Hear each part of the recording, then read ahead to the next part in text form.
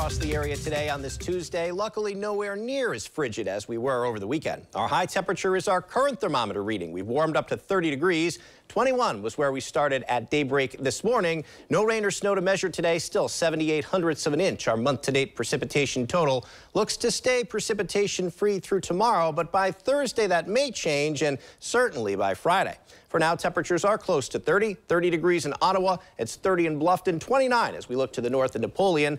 On the radar and satellite composites, still extensive cloud cover all across our local area. Some breaks in the overcast developed a few hours ago, but they've since filled in. Better bet for clearing tomorrow as somewhat drier air advances in with a southerly breeze. A high pressure ridge is situated over Georgia and the clockwise flow of air around the base of that high pressure area directing warmer conditions aloft into west central Ohio. That'll translate to the surface tomorrow and with some sunshine we're going to notice the change. Temperatures climb well into the 30s and the lower 40s.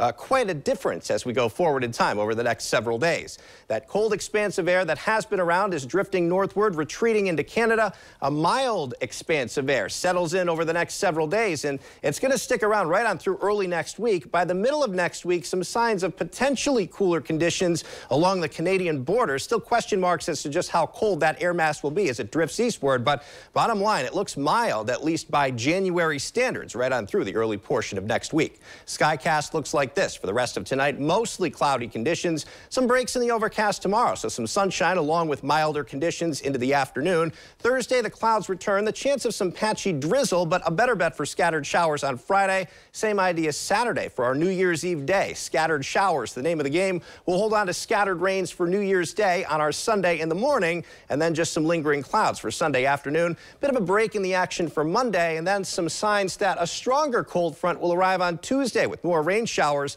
the chance of some locally heavier downpours with this feature, and then once that goes through, the chance of a cool down next Wednesday. Temperatures by morning upper 20s for most of us, 28 in Delphos, 28 degrees in Paulding, with at least partial sun tomorrow afternoon afternoon, a nice rebound, upper 30s to lower 40s for a high, and not quite as cool tomorrow night. So we've got the clouds tonight, gradually breaking up at least here and there, 26 by daybreak, cloudy in the morning tomorrow, and then partly sunny in the afternoon. 40 degrees are predicted high. Seven-day Storm Authority forecast, clouds and the chance of patchy drizzle on Thursday, scattered showers Friday, and for New Year's Eve day on Saturday, a shower or two early Sunday on New Year's Day, more clouds on Monday, the chance of rain along with mild temperatures next Tuesday, upper 50s, could be a tad cooler next Wednesday. Stuart.